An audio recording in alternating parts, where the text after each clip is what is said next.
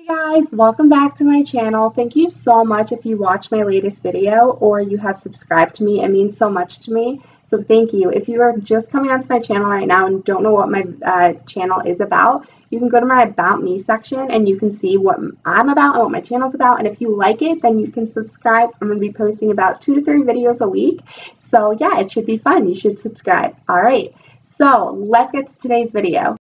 Okay, so today's video was brought to me by a question that one of my viewers asked in one of my videos, and she asked me what I did when I plateaued and what she should do when she plateaus during her weight loss. And it's an amazing question because we all plateau during weight loss. It just happens. It's just something that happens, and I wanted to make this video because when I plateaued for myself, I'm going to give an example. I plateaued in March and I started in January. I sorry, I talk with my hands so much. I'm sorry, I'm Italian. It just happens. But um, I started my weight loss in January and I plateaued in March. And I started to get concerned. I was like, you know what, like maybe I should give up. And that's something that you shouldn't do. Don't give up because it's gonna you you are going to achieve your goal. But I needed to do some research because I really was in a rut and I needed to know what to do. So I researched some things and these tips helped me 100% and I guarantee you that they will help you. And that's why I want to share this video with you and my tips that I used when I was plateauing. Um, so I'm going to get right into Jamie's tips to get out of plateauing. Okay, that was weird. But anyway, um, Number one is you need to change your workout. You can't keep doing the same workout over and over again because your body's gonna be like, eh, nah, like I don't want to do this anymore. So it's you're just gonna get used to it. So once you're used to it, your body is already adjusted to it. So it's not gonna be challenging for you. And you want to get a workout that is challenging for you because it's gonna make you work harder and it's gonna make you burn more calories. It's gonna make you sweat more. So you need to change it up. You can't just do the same exact thing over and over again. For example, when I was losing weight, I started out doing a treadmill with um, speed 4.0 oh no 3.0 sorry and then uh, incline 7.0 and then when i started to plateau i started to go up more i went to 3.5 to 4.0 and then i went to incline to 15 right after um, 3.0 3.0 sorry and I saw a little difference still, you know, I was still not happy with, you know, my results. So I changed the machines I was on. I started doing the Stairmaster. I started doing the bike and my body started to get not as adjusted and clingy, I guess, to the treadmill. And I opened up my workouts to a much more um, window of opportunity. And I think that challenging yourself when you're plateauing is a really, really good thing to do because it's going to get you out of your rut. So change your workout. Okay, so tip number two, and this is actually all these steps are really important. And I always say it's really important, but this is really important also. Um, your calorie intake, you have to adjust it because you can't be intaking the same calories that you were taking in the beginning of your weight loss journey. Because, for example, myself, when I was started losing weight, I was 260, and uh, MyFitnessPal calculated download MyFitnessPal. Um, my fitness uh, MyFitnessPal calculated to um, eat 1,200 calories a day, and then I kept eating 1,200 calories a day. And then when March came and I lost 20 pounds by March, I was still intaking 1,200 calories a day, and that is something that I shouldn't have done because I was losing weight and I was smaller, so I needed to adjust it for the smaller version of myself and take intake more calories so I was getting the nutrients and stuff that I needed. So when you do lose weight, you should probably, you know, change the, your calorie intake, you know, every 10 pounds. So make sure you are watching your weight and watching how many calories you are intaking because it's going to affect uh, your plateau. It really will. Um, so download MyFitnessPal and it will calculate it for you. okay.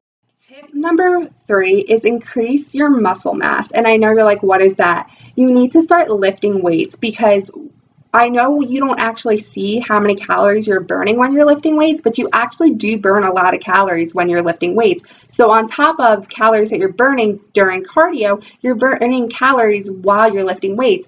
And if you're thinking like, I had never lifted weights before or I'm not comfortable, start with two pounds or five pounds and just, you know, lift up your arms and do some like weightlifting things. And you will see that there will be a difference and you will be sweating more after every workout, after every time you're at the gym. And it's going to help you get out of this rut that you're in right now because you're doing other things other than cardio. And I know I said that in, in one of my videos, for beginners of people that are losing weight because cardio is very important when you're trying to burn fat.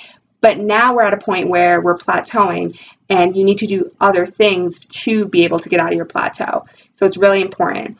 Um, tip number four is something that I actually didn't even know about until a year into my weight loss, um, you need to eat more protein because when you eat more protein, it means that you are burning calories actually when you're breaking down that food.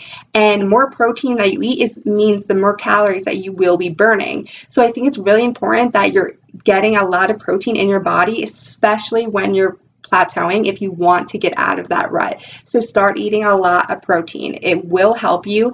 And I'm telling you, it was actually crazy when I started eating protein and uh, I mean, I ate protein before, but when I started eating more protein, I saw an amazing difference. And I'm not just saying that, it was actually really crazy of the difference that I saw. Um, tip number five, and I know that, you know, your parents probably tell you this, you know, everybody in your life tells you this, you need to sleep the amount that is, you know, recommended, I don't know if it's like seven or eight hours, but when you are sleeping, your hormones, um, they like kind of like, um, they uh, reset. So when they reset, you start going back to normal. But if your hormones are all over the place, you're not going to be, you know, uh, head on. You're going to be all over the place. And that's something that you don't want to do when you are working out and when you are on this weight loss journey. You always want to have your head on straight. You always want to be focused and you want to succeed. So sleeping is very important because we want to succeed. We don't want our hormones to be all out of whack. So trust me, I'm telling you, when I didn't sleep, the next day, my workouts were horrible. So if you are trying to lose a lot of weight, if you are in your plateau stage, please sleep more. It will help you out so much. And I didn't believe it, but it is so true. It helps you so much. I really hope you guys enjoyed my five tips on how to get out of plateauing when you are losing weight.